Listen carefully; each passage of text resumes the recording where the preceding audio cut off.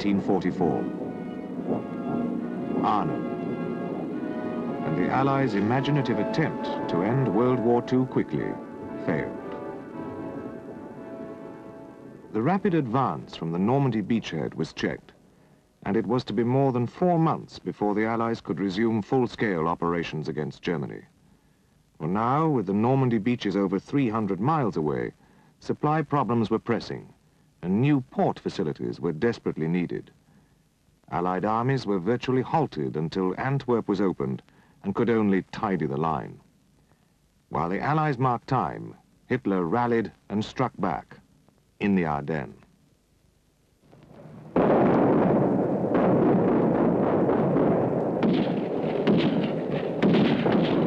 Not until mid-January 1945 was order restored. Only then could the Supreme Commander, General Eisenhower, think of returning to the offensive.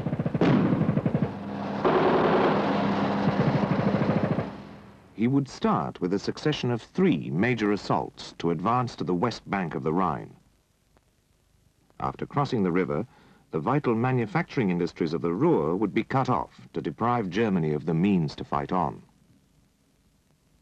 The first of Eisenhower's three assaults, a pincer move, was to be by Montgomery's 21st Army Group, with the US 9th Army attacking across the River Roer in Operation Grenade, and the 1st Canadian Army striking southeast between the rivers Rhine and Maas in Operation Veritable. The first moves in the battle for the Rhineland.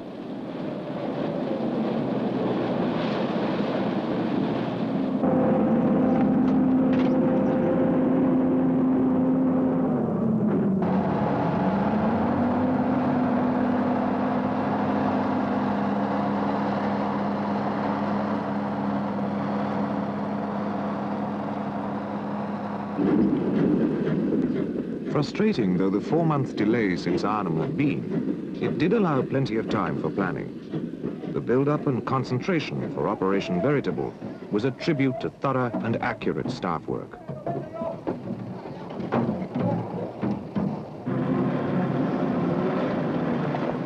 Secrecy demanded that virtually all supplies were moved forward, dumped and camouflaged by night, and the quantities involved were immense. Ordnance alone was of mind-boggling proportions, as General Crerar, the 1st Canadian Army's commander, observed at the time. If the ammunition allotment for this operation, which consists of 350 types, were stacked side by side and five foot high, it would line a road for 30 miles. Roads to the front were few and in poor shape, so over 600 kilometers had to be built or reconditioned and many bridges constructed. Even then, they only stood up to the constant pounding because the ground was frozen hard. In all, some 340,000 people were involved, more than in Britain's armed services today. But at the end of January, their luck changed when a thaw set in, and with movements at a peak of 10,000 tons a day, the roads began to break up.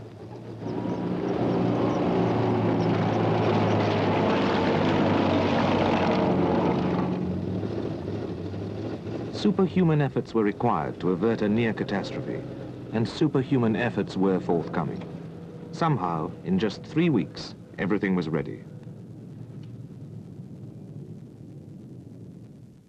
Operation Veritable would strike here, but as the formations gathered in the vast 74 by 69 kilometer concentration area, all movements, gun positions, security arrangements, signals traffic, and carefully orchestrated bogus activities conformed to an elaborate cover plan to convince the enemy commanders that the offensive would strike north.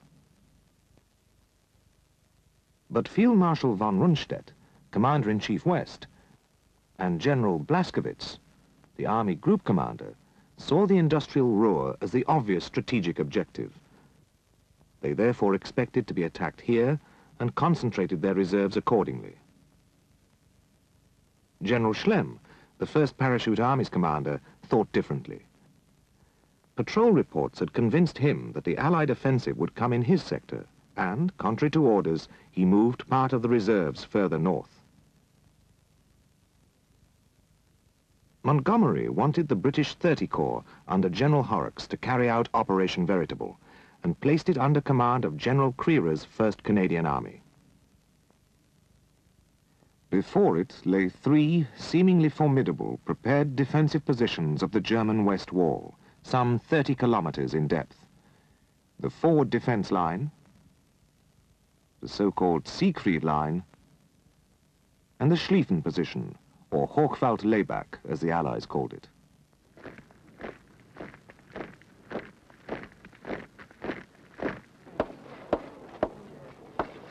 Though each of these was up to 1,500 meters in depth, with anti-tank ditches, trenches, barbed wire entanglements and minefields, they had been hastily prepared under non-military control and had none of the vast concrete obstacles and emplacements found further south. The main defenses were strengthened by subsidiary lines, and the Rhineland towns were ringed with extensive field fortifications.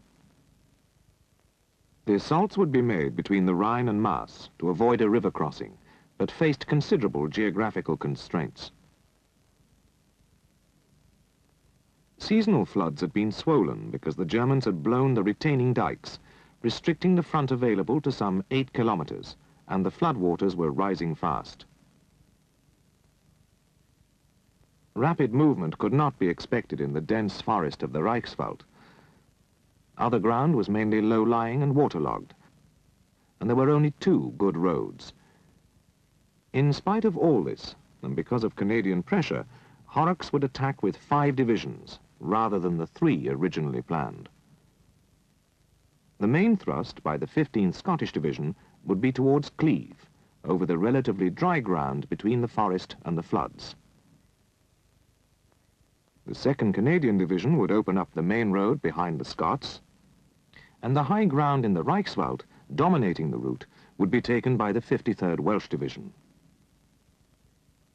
The 3rd Canadian Division was to clear the flooded area, and the 51st Highland Division would open up the other good road. Ready in reserve were the 43rd Wessex and Guards Armoured Divisions. Horrocks' top priority was to seize this high ground, the Materborn feature, before the arrival of German reserves. He saw it as the key to a successful breakthrough, for it dominated Cleve and the more favourable country beyond, and once captured, he would send in his two reserve divisions. Both divisions would bypass Cleve.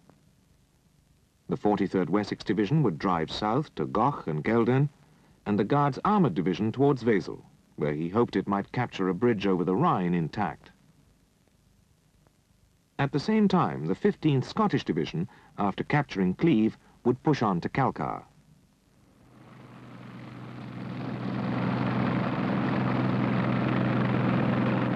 Horrocks hoped to see his armour speeding across hard, frozen ground and capturing its objectives before the Germans could organize their defense in a short, sharp battle of about four days. But the ground wasn't frozen.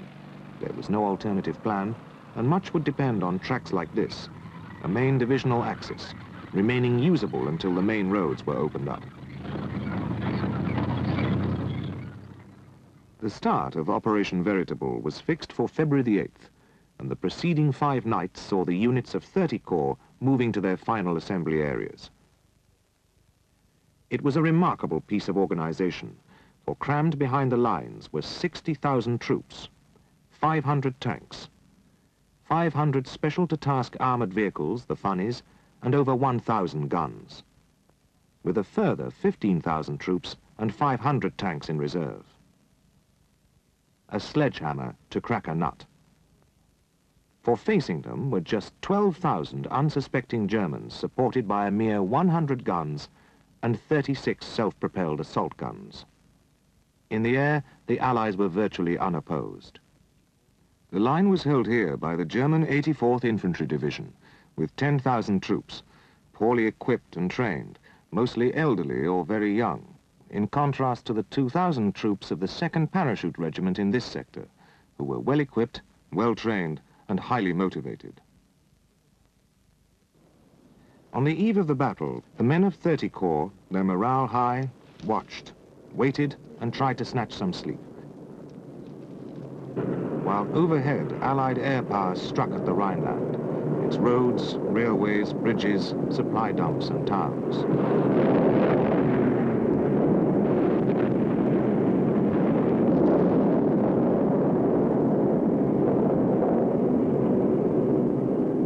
Cleve was almost completely destroyed.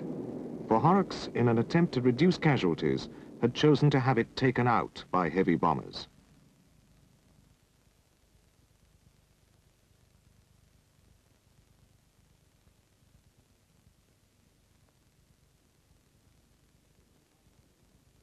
Then, at 0500 hours,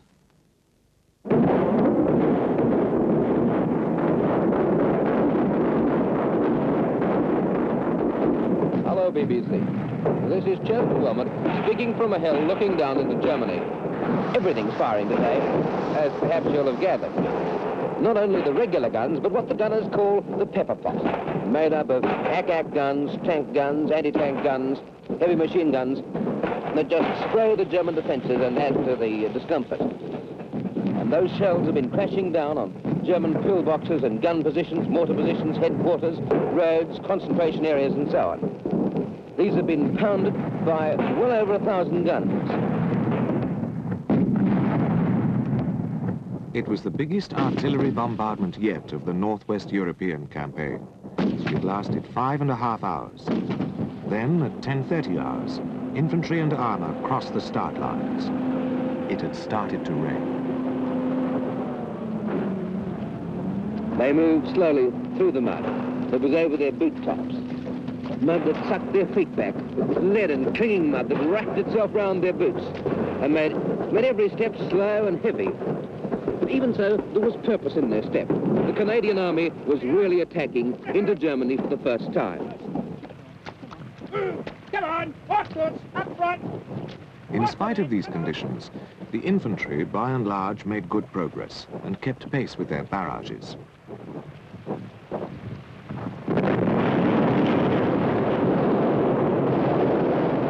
The devastating artillery fire had cut all enemy line communications and prevented the use of runners. German troops were found overwhelmed and demoralized. The majority only too happy to surrender.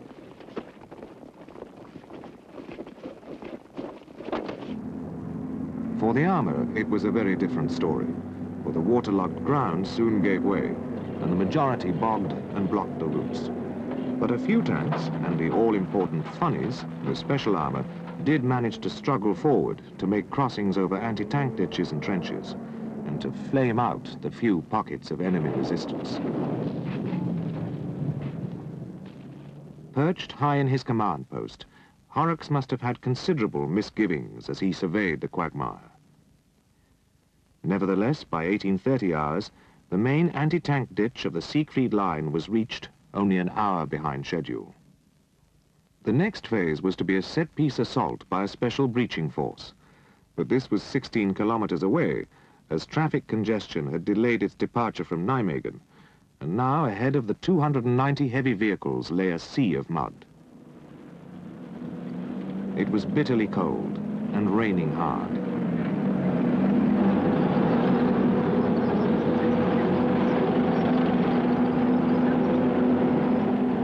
In the dark, overhanging branches fouled bridging equipment, which dropped and blocked the way forward. Mud was now too deep to cross, so diversions had to be found and cleared. Men dug, vehicles pushed, pulled and towed. And eventually, at 0400 hours on day two, seven hours behind schedule, the assault began.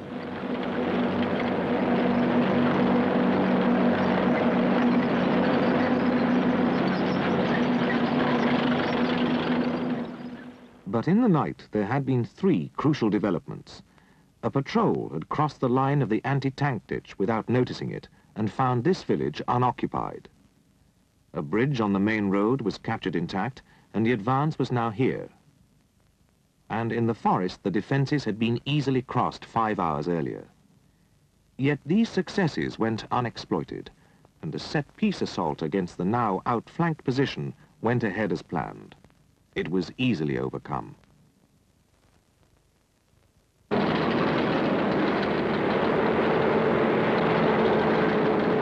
Speed of the advance was now aided by another funny, the kangaroo.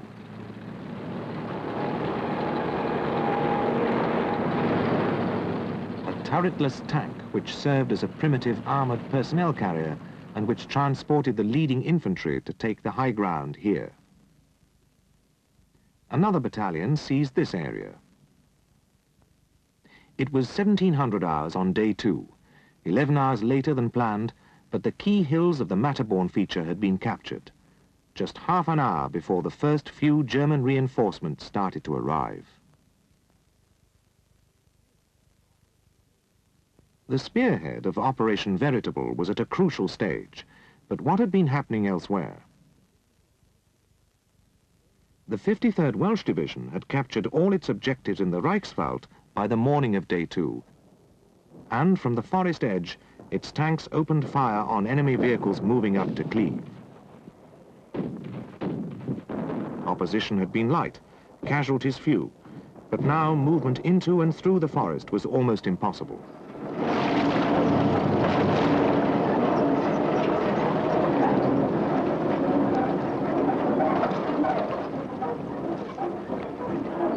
Further operations were cancelled while urgent efforts were directed to route maintenance. For the weather, not the enemy, had halted the division literally in its tracks.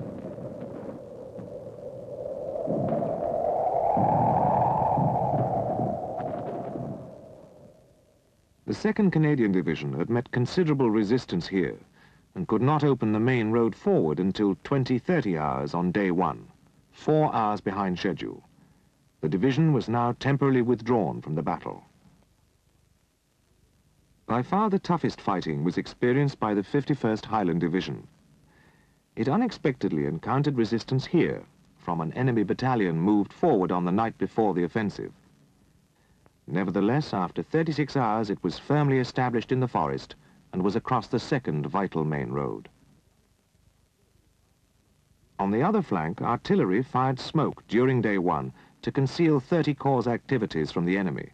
Then, as night fell, the 3rd Canadian Division advanced towards the villages isolated in the floods.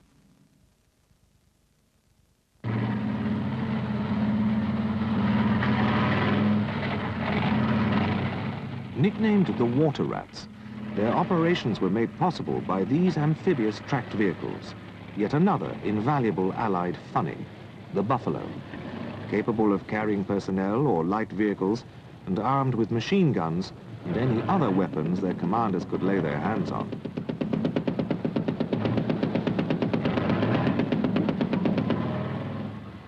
Maintaining direction in the dark wasn't easy, but one commander solved the problem by calling for a stonk on the objective and following the resulting fires. In the shallow water, anti-personnel mines and wire played havoc with the tracks. Currents quickened as the floods rose, but targets were strafed, infantry was landed, and the villages cleared one by one.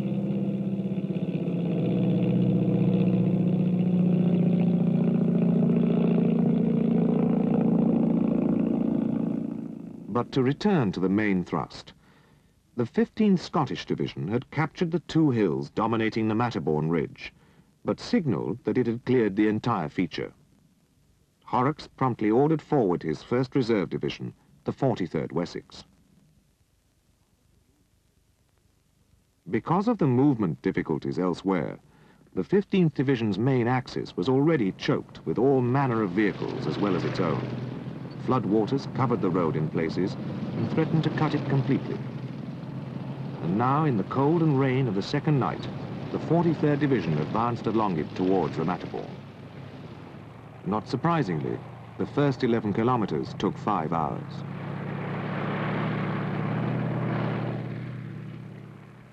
In the meantime, no orders had been issued and no attempts made by either the 15th or the 53rd Divisions to extend the grip on the vital ridge. So that when the head of the 43rd Division's column reached this area, it learned from the 15th Division's reconnaissance regiment that the bypass route was strongly defended, but that Cleve itself was only lightly held. So its leading brigade, the 129th, was ordered to continue the advance through the outskirts of the town instead. At 0530 hours on the third day, it had reached this area. It was unopposed, but ordered to halt, for behind in Cleve, chaos reigned.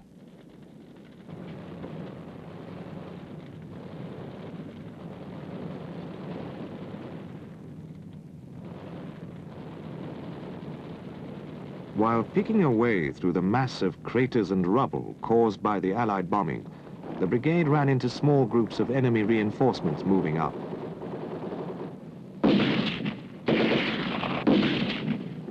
No tidy battles were possible, and much depended on the initiative of individual platoon and section commanders.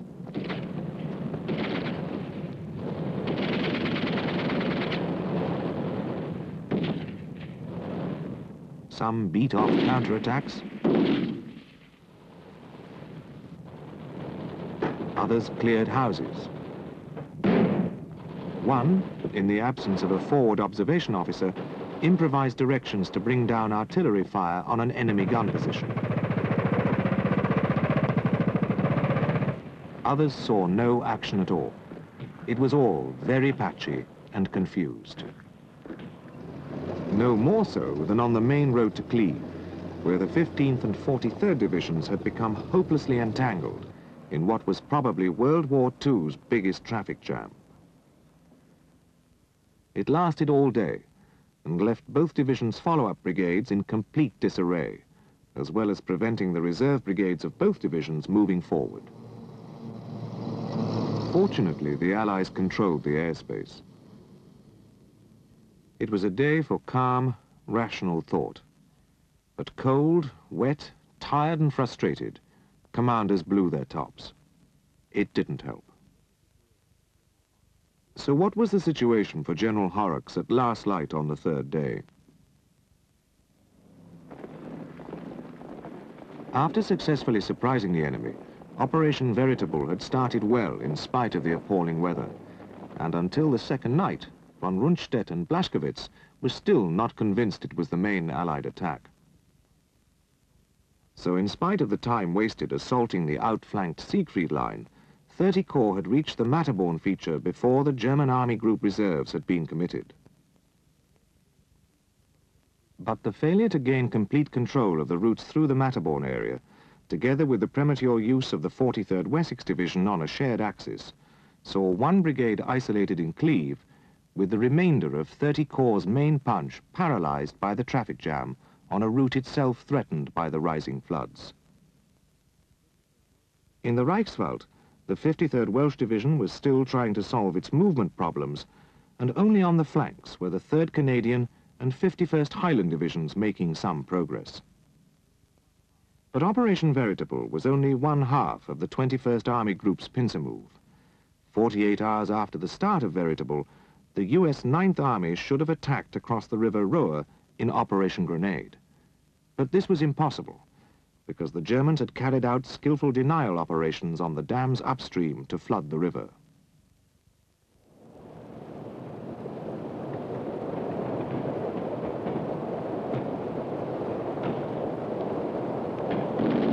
With the Americans for the time being unable to attack, the Germans could concentrate on Operation Veritable and the 1st Canadian Army would have to fight on alone.